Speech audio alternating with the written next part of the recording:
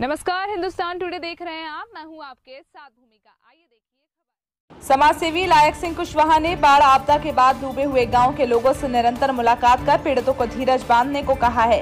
केवल इतना ही नहीं, मुलाकात कर सेवा के भाव से एक माह का सूखा राशन प्रदान किया। समाज सेवी लायक सिंह कुशवाहा ने बाढ़ से पीड़ित लोगों से मिलते ही पर्रांच हिलगवा, छोटा हिलगवा गाँव के लोगों को श्री सिंह कुशवाहा ने पाँच हज़ार रूपए की नगद राशि सूखा राशन की घोषणा कर पीड़ित लोगों को प्रदान किया। आपको बता दें श्री कुशवाहा के द्वारा बाढ़ से प्रभावित ग्रामीणों के साथ मिल खुद की पीड़ा समझकर सहयोग देने का काम किया। सेवड़ा से संवाददाता राम बाबू जाटव की रिपोर्ट। दर्शन सिंह आ गए? दर्शन सिंह उसका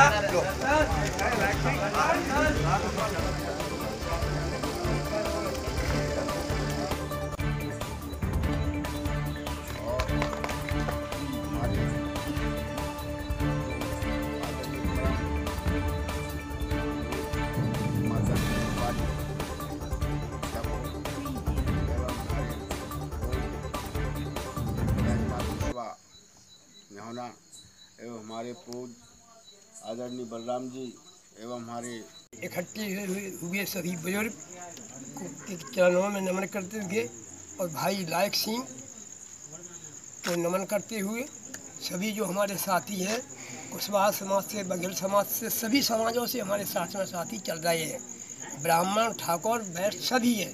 को हमारा जो है, ये जो दल है, ये जो है, जातिवादी नहीं है। ये मानवता मानवतावादी है। ये मानवता को बाहर करने वाला दल है और ये दीन दुखियों के दुख को देख करके दुखी होने लगता है। इसलिए साथियों, जो आपदा आपके ऊपर आई है आज, उस आपदा के में सहयोगी होने के लिए हम सब पधारे हैं आपके लिए। आप जो है लाख सिंह कुशवाहा जी जो आपके बीच में आए हैं, ये दानी हैं और इन्होंने हज़ारों लड़कियों के कन्यादान दिए हैं।